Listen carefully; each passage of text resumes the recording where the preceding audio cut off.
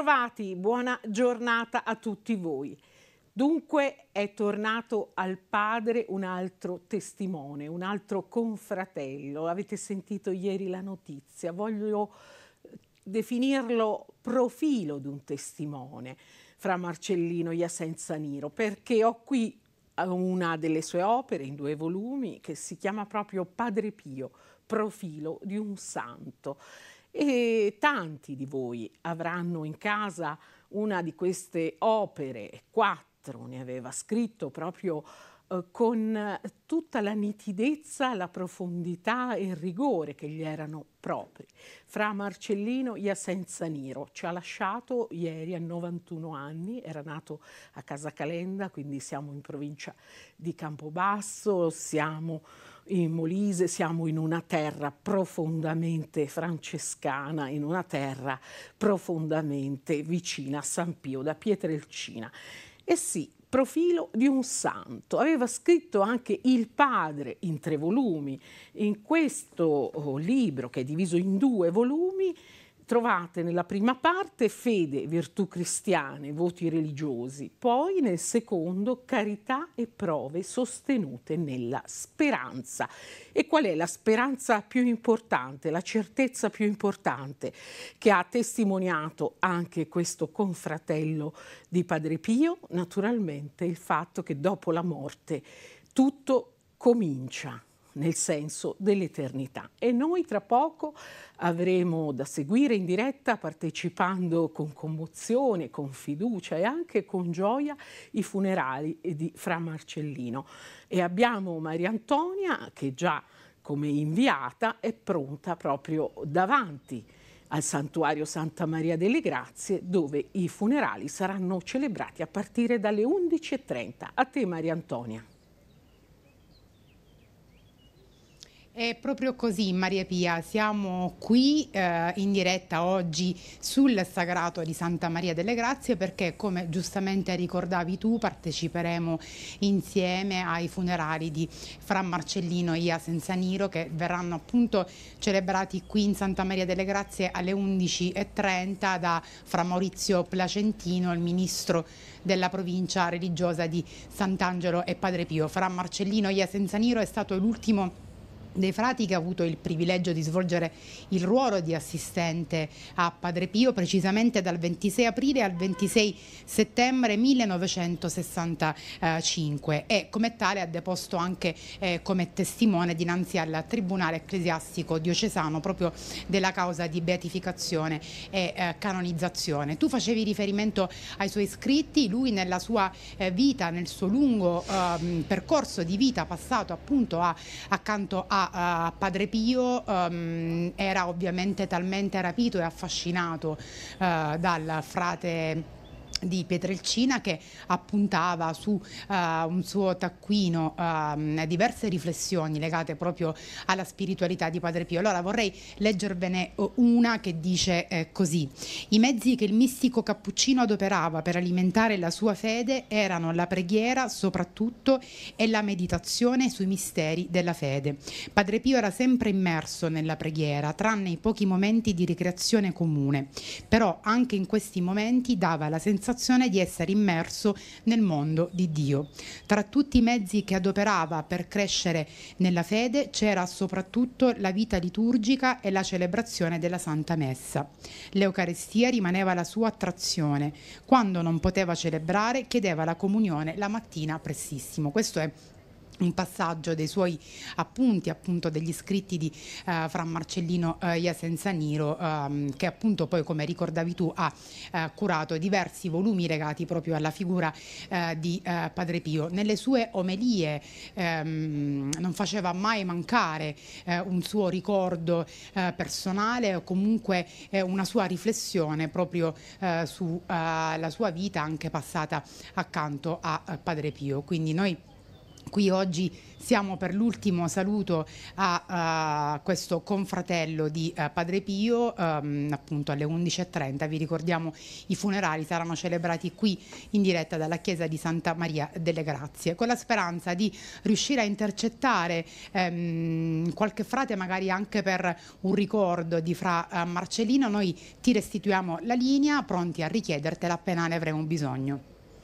Grazie Maria Antonia, devo dire che io ho avuto il privilegio di eh, seguire, di partecipare a diverse celebrazioni eucaristiche presiedute da Fra Marcellino. Mi è capitato soprattutto in quel di Campobasso, alla Madonna detta dei Monti, laddove appunto Fra Marcellino la domenica mattina andava a celebrare, soprattutto nei primi anni 90 e dunque anche il mio personale grazie perché era appunto anche un modo per stare più vicini a Padre Pio, per conoscerne meglio la forza del messaggio.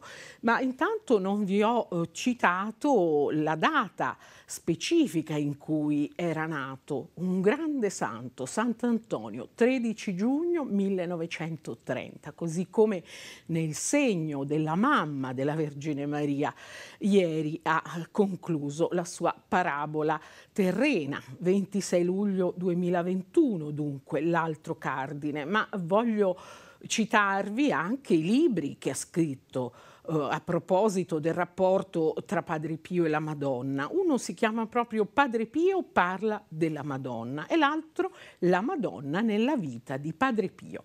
E quindi spero che vorrete conoscere sempre meglio Padre Pio anche attraverso questi confratelli. Quest'anno abbiamo avuto due addii, almeno qui, ripeto, solo per la scena di questo mondo, che pesano molto. Il 17 gennaio scorso fra Marciano Morra e ieri fra Marcellino Iasenza Niro che aveva deciso di dedicarsi completamente alla vocazione con l'ordinazione sacerdotale il 21 febbraio del 1954, mentre appunto ehm, era già eh, tra coloro che eh, sono seguaci di San Francesco dal 16 settembre di sette anni prima, del 1947, quando poi il 12 agosto di quattro anni dopo, 1951, eh, confermò in modo permanente la professione dei consigli evangelici, insomma emise i voti religiosi. E devo dire che era stato chiamato Antonio civilmente proprio in omaggio a questa uh, grande festa del 13 giugno in cui era nato nel 1930. Noi invece oggi naturalmente per ora eh, passiamo anche alle altre rubriche, poi torneremo eh, su Fra Marcellino, sul suo ricordo, sul suo esempio e eh, daremo appena ce la chiede la linea a Maria Antonia naturalmente. Devo dire che a proposito di santi del giorno, oggi invece troviamo delle figure molto affascinanti che però conosciamo poco quanto niente. Allora vi rilancio subito il fatto che nel calendario liturgico abbiamo i sette dormienti come tra i vari santi, martiri del III secolo, Massimiano, Marciano, Giovanni, Costantino, Malco, Dionisio e Serapione, molto devoti al Signore Eppure purtroppo la loro vita fu breve perché l'imperatore Decio pretendeva, era l'epoca in cui eh, dai vertici dell'impero romano non si sapeva mai cos'era eh, più importante, se un po' di tolleranza, come era tipico eh, dello stile legislativo romano, oppure eh, un po' di intolleranza, perché l'imperatore doveva essere al vertice di tutti gli dei. E quindi questi sette santi cosiddetti dormienti ebbero oh, purtroppo da uh, testimoniare fino all'effusione del sangue il fatto che non volevano sacrificare agli dei ma soltanto essere, e vedete qui il luogo che ricorda ancora oggi ad Efeso, proprio anche nei luoghi celebri per eh, le vestigia eh, della Madonna eh, ricorda la loro testimonianza, la loro fede. Quello che è eh, anche interessante e straordinario, testimoniato anche in un'antichità che troviamo addirittura al Museo di Roma, è che dopo due secoli qualcuno andò a cercare le reliquie naturalmente era cambiata la situazione e si voleva appunto in piena epoca post-costantiniana invece esaltare il cristianesimo e furono ritrovati non i corpi eh, vituperati dal passare del tempo e dei vermi, direbbe qualcuno, bensì appunto intatti. Quindi questo prodigio eh, li rese eh, anche più celebri, certo, soprattutto in Oriente, tant'è vero che noi eh, come vi ho detto, non è che li conosciamo tantissimo, ma abbiamo potuto oggi recuperare. La cosa mi fa molto piacere perché noi siamo proprio ormai in questo ventunesimo secolo liberi da quel tipo di pregiudizio che invece nel secolo scorso imponeva quasi ai credenti, ai cattolici, di lasciar perdere le antiche tradizioni, quasi fossero appunto miti, leggende, ma al di là di quello che ci potrebbero dire gli esperti sulla veridicità, anche i fondamenti di alcuni miti, noi teniamoci la nostra leggenda giorno per giorno, che significa appunto da leggersi e da conoscersi. Abbiamo detto dunque dei sette dormienti, ma adesso cambiamo completamente argomento. Io stavo anche per cambiare il mio sguardo verso un'altra telecamera, giusto per fare una cesura, appunto, in quanto andiamo a parlare di un grande personaggio, ma che naturalmente è completamente diverso. Si tratta di Guido Piovene, che era nato proprio il 27 luglio il 1907, l'anno della sua nascita, in quel di Vicenza, quindi Veneto, poi sarebbe morto a Londra il 12 novembre del 1974, qui la regia salta già un altro nato il 27 luglio che è l'attore Adolfo Celi che vediamo sulla sinistra, ma vorrei ritornare a Guido Piovene con un suo capolavoro che è questo, Viaggio in Italia. Infatti eh, scrisse, era un giornalista oltre che uno scrittore, e rese celeberrimo appunto questo suo peregrinare nelle regioni italiane per diversi anni, negli anni 50, con una pubblicazione che è un vero classico.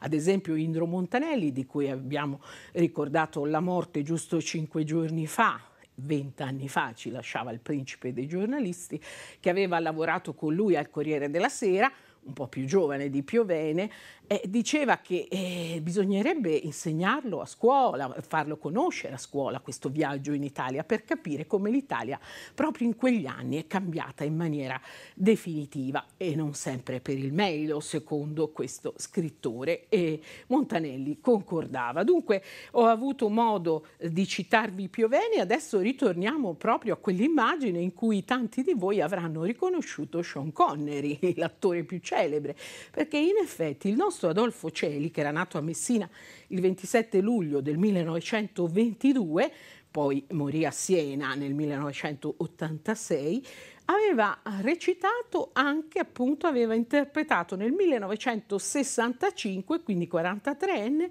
a uno dei celeberrimi episodi della saga di 007, in particolare Thunderball.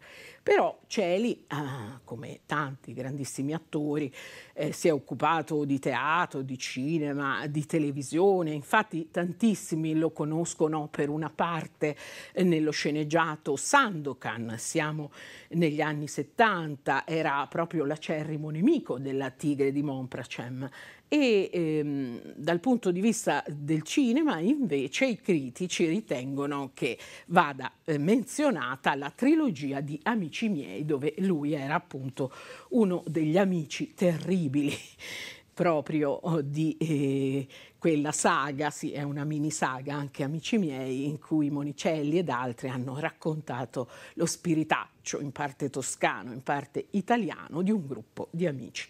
Ma noi adesso invece a proposito di gruppi parliamo di persone che non fanno brutti scherzi, parliamo d'altro, cioè di un gruppo che arriva arrivava da Ribera in provincia di Agrigento e proprio con questo, morbidamente, con questo tuffo nel passato, eh, vedo che già Maria Antonia è quasi pronta per un bellissimo collegamento perché è ricca di ospiti, dunque chiedo alla regia o spot o Maria Antonia, sta a voi decidere.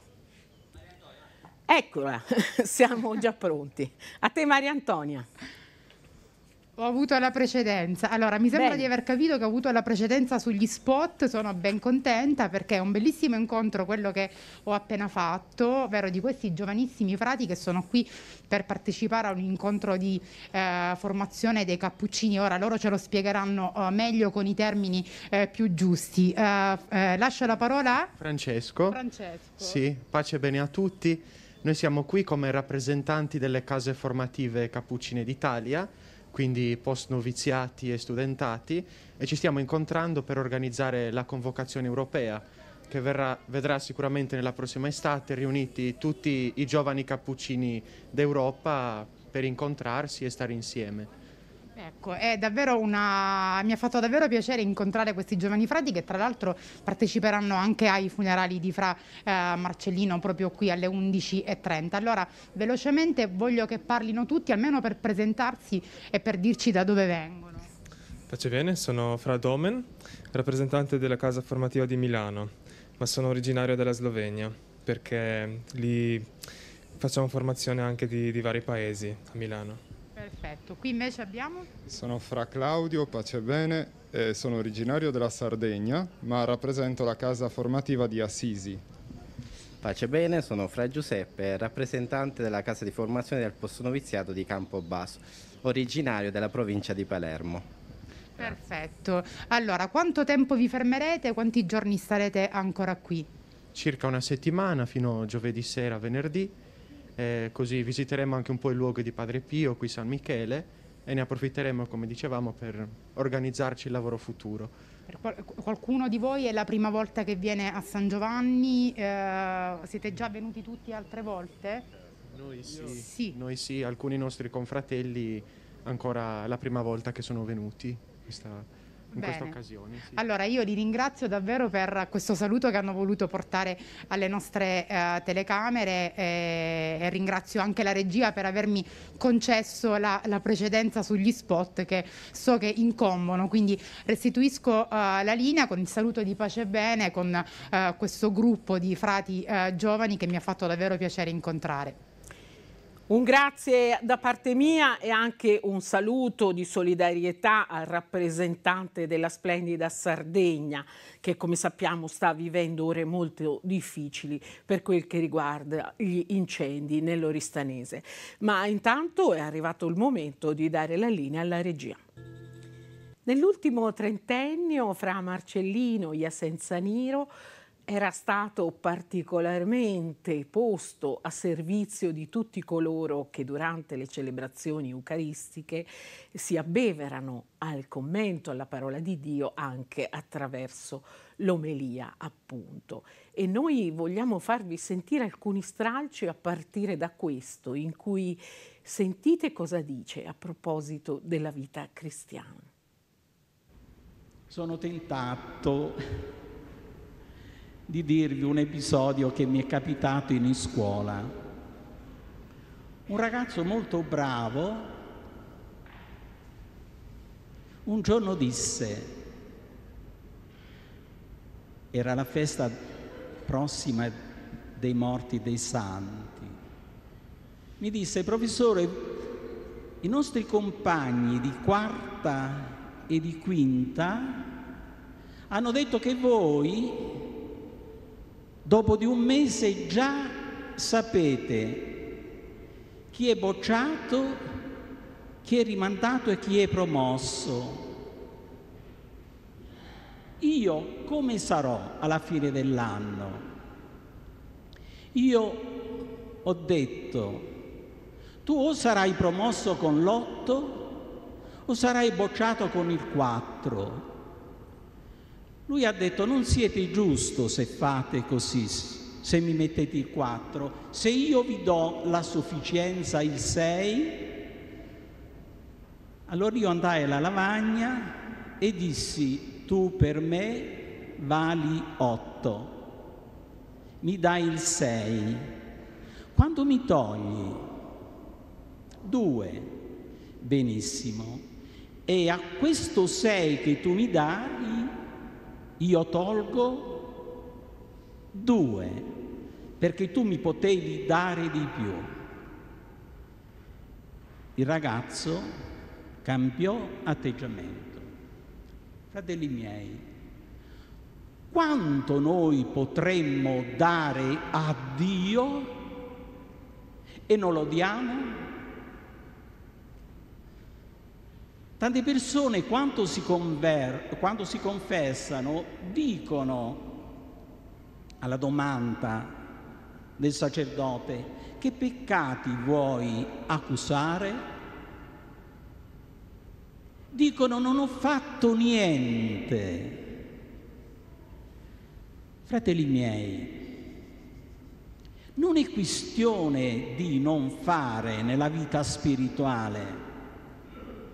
Nella vita spirituale l'impegno è dare e fare.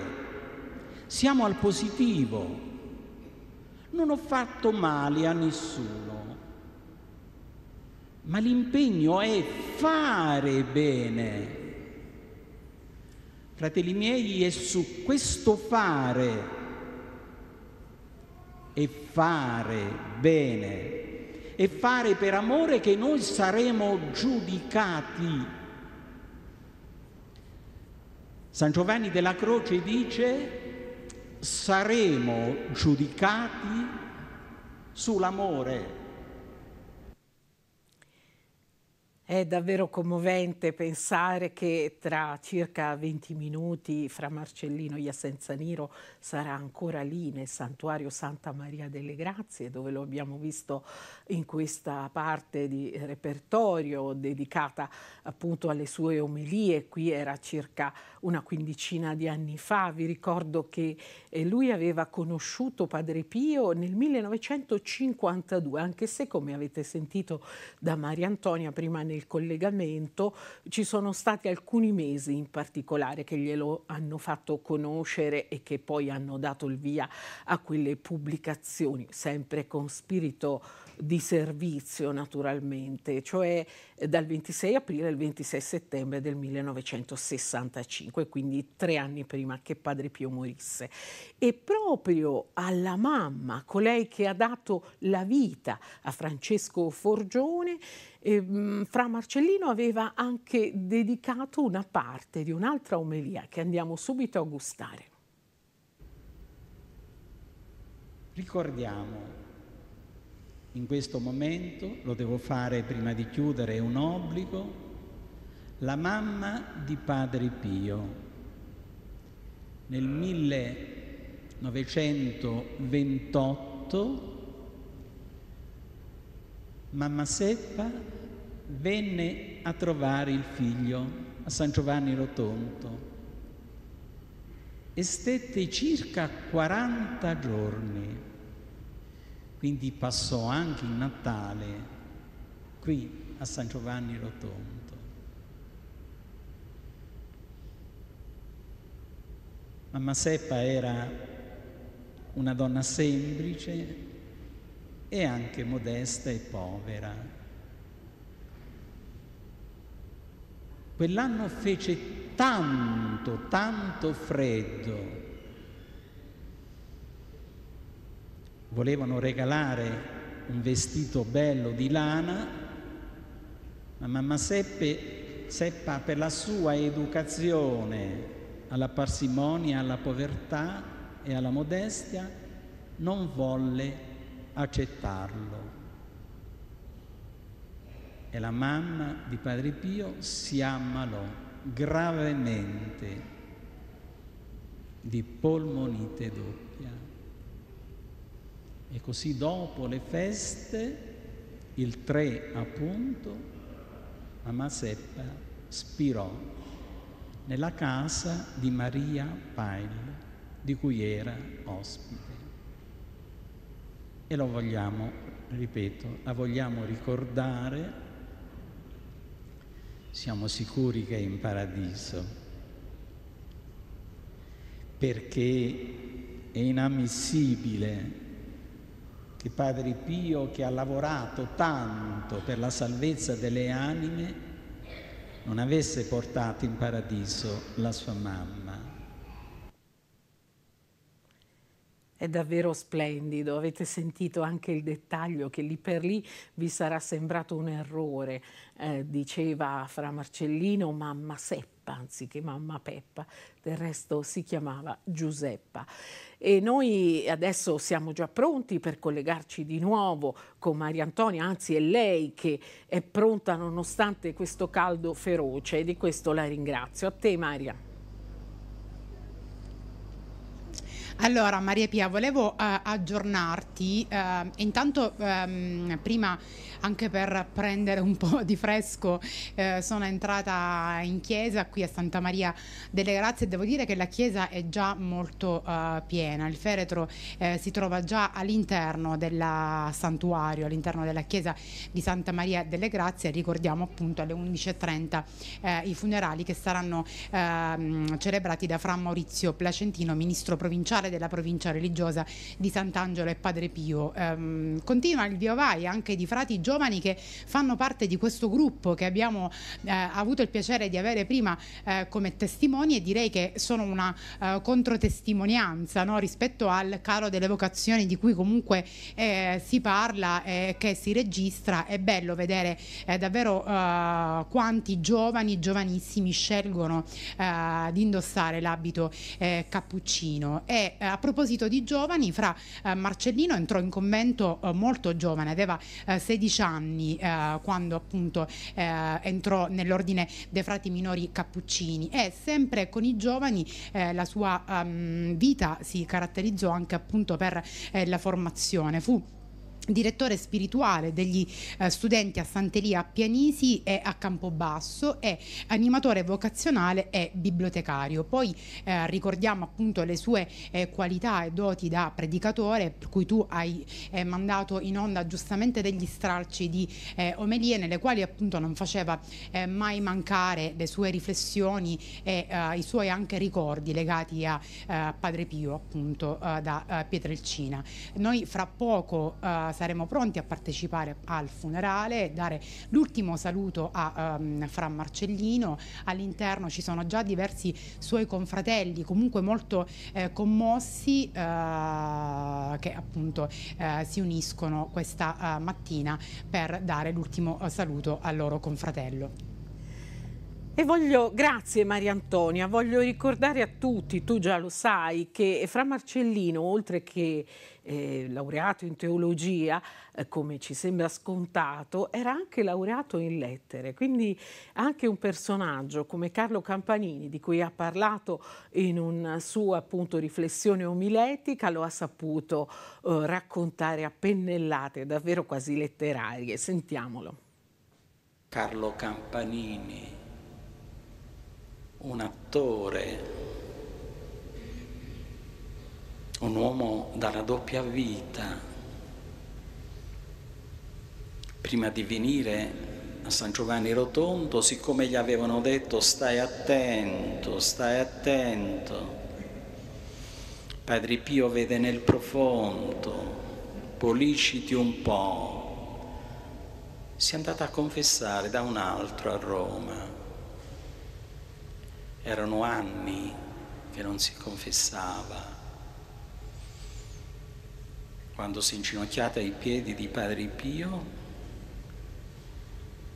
si è sentito rivolgere questa domanda, la solita domanda, da quanto tempo non ti confessi? Lui tutto contento disse da una quindicina di giorni e Padre Pio, indicando una confessione di vent'anni prima, ha detto devi ricominciare da quella confessione. E Carlo lo seguì, lo seguì. Splendido racconto, riassuntivo appunto di una storia straordinaria come tante rispetto a chi ha avvicinato San Pio, ma anche tante, lo sappiamo perché anche voi ce le raccontate, eh, di chi avvicina i seguaci di San Pio, i confratelli, i testimoni. E adesso vogliamo ancora eh, in maniera riepilogativa ascoltare fra Marcellino proprio a proposito di che cosa significa anche prepararsi eh, spiritualmente ad essere figli di Padre Pio. I suoi figli spirituali hanno visto nell'insegnamento del Padre qualcosa di serio, di gravoso, ma anche bello. Una volta un figlio spirituale disse al padre, padre, io vi voglio seguire. Padre Pio ha detto, non sai che cosa mi chiedi. E poi ha aggiunto, figlio mio, per purificarsi bisogna passare attraverso un bosco fittissimo, pieno di ostacoli e senza luce. E Padre Pio chiedeva appunto la conversione. Ci sono tanti esempi di, di conversione che Padre Pio ha operato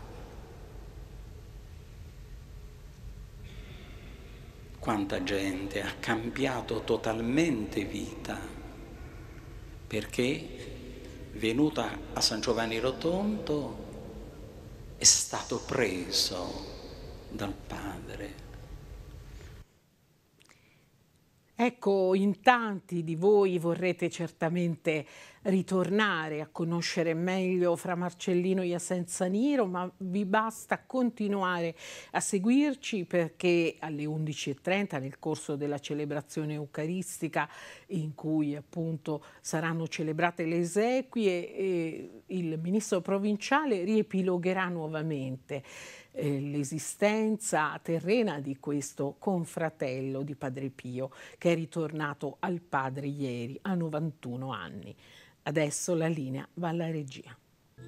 11 e 28 minuti tra pochi secondi, dunque come vi mostravo al, all'inizio di questa nostra diretta, eh, due volumi eh, sono quelli in cui padre eh, Marcellino traccia il profilo di un santo, cioè parla delle testimonianze di un esercizio eroico della fede, delle virtù cristiane, dei voti religiosi, della carità e delle prove sostenute nella speranza. Dal primo volume leggo una riflessione a pagina 135 i santi sono spinti ad operare nel sociale sempre da una motivazione teologica. È come se in quel loro agire sentissero risuonare nel loro cuore, nella loro mente, in continuazione il richiamo di Gesù. Ogni volta che avete fatto queste cose a uno solo di questi miei fratelli più piccoli, l'avete fatto a me. E non so se eh, intravedo Maria Antonia con un ospite, se c'è il tempo rapidissimo per... Eh, ecco, la linea a te Maria Antonia. Un saluto rapidissimo, questo piacevole incontro che tutti i nostri telespettatori conoscono, il dottor Giovanni Scarale che è venuto qui per dare anche lui il suo saluto a, Fra Marcellino. Benvenuto, ben trovato. Grazie, mi trovo qui stamattina per portare l'estremo saluto a Fra Marcellino, che è stato grande frate vicino a Padre Pio. Vorrei dare l'estremo saluto come gente di San Giovanni, gente che ho avuto la fortuna di conoscere, gente che è vissuta vicino al convento. E allora noi eh, lasciamo a questo punto, ringraziamo il dottor Scarale per averci portato la sua testimonianza e lasciamo ovviamente la linea a te Maria Pia in studio per eh, partecipare insieme alla celebrazione eucaristica ai funerali delle 11.30. Grazie, grazie anche al dottor Scarale per questo suo intervento e naturalmente eh, ci sono tante, tantissime riflessioni che potremmo continuare a fare proprio sulla scorta di queste opere scritte eh, da Fra Marcellino Iasenza Niro, che certo il Signore avrà già accolto, lo diciamo perché siamo certi che appunto anche Padre Pio lo avrà accolto e riabbracciato già in queste ore.